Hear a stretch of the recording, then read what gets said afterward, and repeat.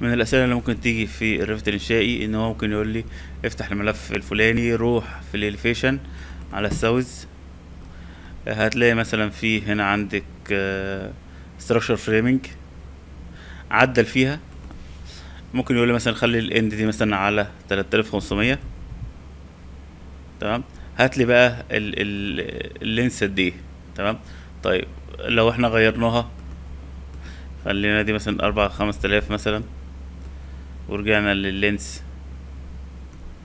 هتلاقي إن ال length بتختلف تمام؟ وممكن يطلب مني إن أنا أرسم حيطة وأعدل فيها وأقول له ال area قد إيه يعني ممكن يقول لي آه، روح مثلا ل level اتنين وابدأ ارسم لي مثلا حيطة معينة هنا مثلا. في ال structure هقول له أنا عايز أرسم wall structure هيقول لي مثلا تحديد ارسمها من من ال level من آه، من مثلا grid واحد لخمسة. تمام؟ وهيقول لي مثلا الارتفاع بتاعها قد إيه قد إيه؟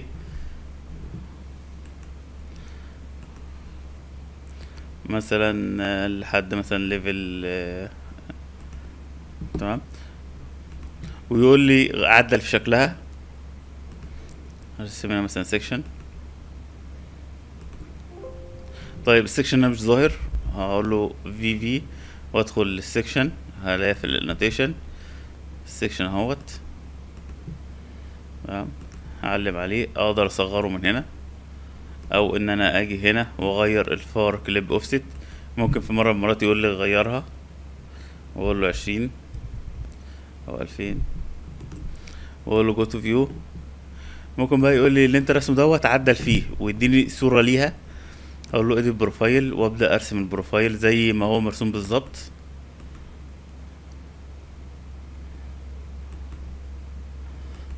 وليكن مثلا حاجة بالشكل دوت.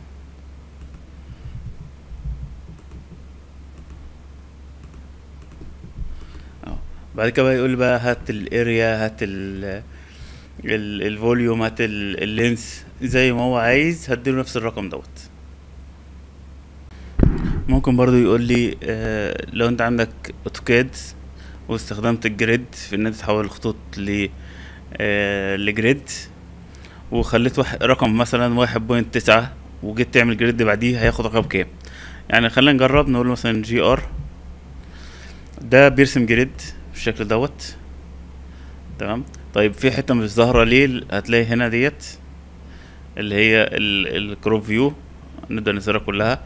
طيب أنا دلوقتي أقول له أنا عايز أرسم grid GR أختار الأداة بقى اللي هي pick line لو أنا اخترت دوت ده خليت ده مثلا آه واحد تمام؟ وال grid اللي بعديه بدل ما اتنين خليته واحد point واحد. تتوقع ده هيبقى كام؟ ده السؤال بقى. اللي بعد كده هيبقى إيه؟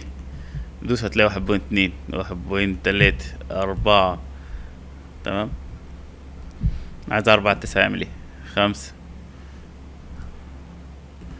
ست سبعة تمانية تسعة واحد بوينت عشرة يبقى يقعد حداشر اتناشر تلاتاشر وهكذا.